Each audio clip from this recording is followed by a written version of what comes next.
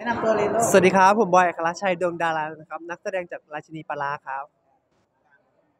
สวัสดีครับ เขมนัทแก้วไพฑูรย์ครับ สวัสดีครับ เมฆสิทธิชัยผู้เพชรแก้วครับ นักแสดงจากราชินีปลาร้าครับ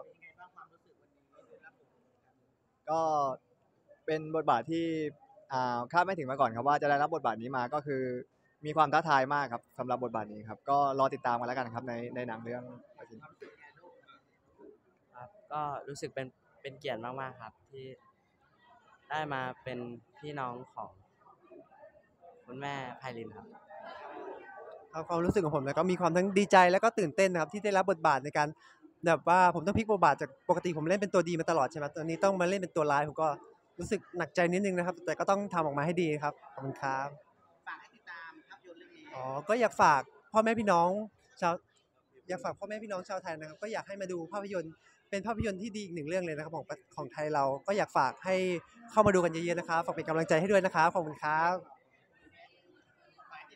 ครับ ก็อยากฝากทุกคนติดตามภาพยนตร์ราชินีปลาร้ากันด้วยนะครับ ก็เรื่องนี้รับรองว่าเข้มข้นและสนุกน่าดูมากครับขอบคุณครับ